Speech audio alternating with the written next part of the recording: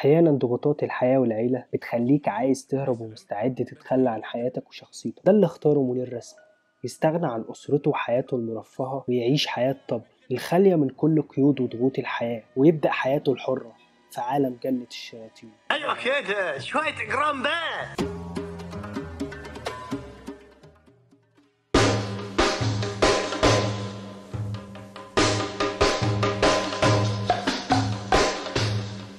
عالم اختار يقدمه لنا المخرج أسامة فوزي الأجواء الجميلة والساحرة للقاهرة بالليل الشوارع الفاضية من العربيات والناس ننة بوسي عادل حبة وشوقية. دي شخصيات قادرة تتعامل مع الحياة والموت بشكل غريب. العنف والضحك والهزار كل ده بيتعاملوا معاه بشكل اوفر مبالغ فيه. والمحرك الأساسي لكل الشخصيات هو الشهوات والملذات اللي بيستمتعوا بيها علشان قادر يخرجهم من ضغوطات الحياة ومشاكلها ويخليهم عايشين عالم هم اللي صانعينه مختارينه بإرادتهم زي طب اللي اتخلى عن أهله وأسرته من عشر سنين وقرر ينزل العالم السفلي اللي فيه اختار لنفسه أسرة جديدة يعيش معاهم بكامل حريته علشان يكونوا دايما فاكرينه. وده اللي حصل لما عرفوا إنه مات.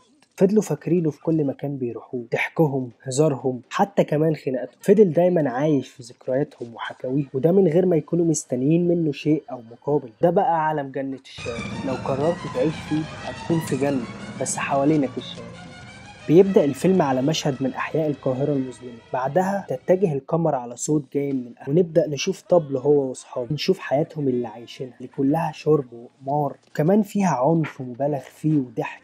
بعدها يحصل حدث يصدم الجميع. اكتشاف موت طب اللي بيقرروا لازم يبلغوا أهله. بنعرف وبنشوف من صوره القديمة إنه كان زوج مثالي وإنه قرر يبعد عنهم وحاولوا يقربوا منه كذا مرة بعدها لكنه رفض. وقرر يسيب مراته وبنته وحتى كمان شغله اللي كلها رسميات وقيود من المجتمع اللي حواليه. وبعد ما العيلة عرفت بموت بنته بتقرر تعمل جنازة كبيرة تليق بعيلتهم ومكانته اللي كان عليها. علشان الرسميات بقى والشكل العام اللي قرر منير رسمي يمشي منها وهو حي وكمان بعد ما مات. طب نزل يلعب في الشارع.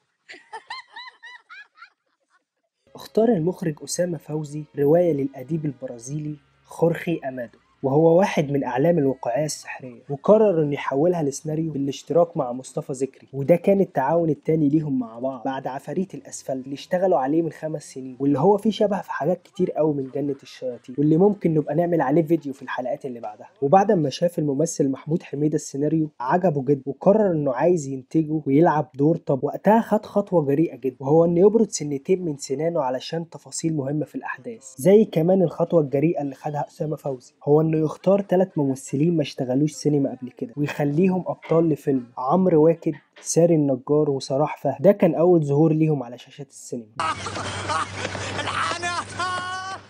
دايما أفلام الواقعية السحرية هي اللي بتشدني علشان بتدخلني عالم مليان شخصيات وتفاصيل. صعب أشوف زيها في حياتي الواقعية. بس فيلم جنة الشياطين وراني ده. وراني منير رسمي اللي اختار يعيش حياة طب. وفي نهاية الفيلم وصلني بكل شخصياته. وقدرت أحس بكل واحد فيهم.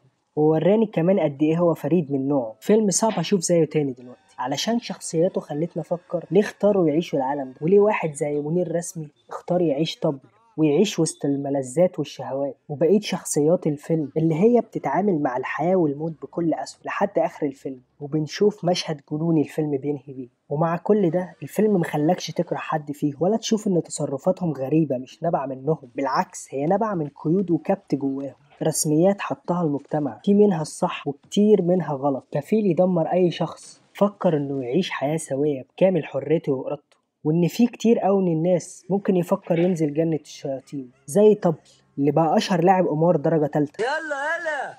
يلا. حابب أسمع رأيكم في الفيديو. وقولوا لي رأيكم في اختيار منير رسمي. وشكرا على وقتك ومشاهدتك. سلام.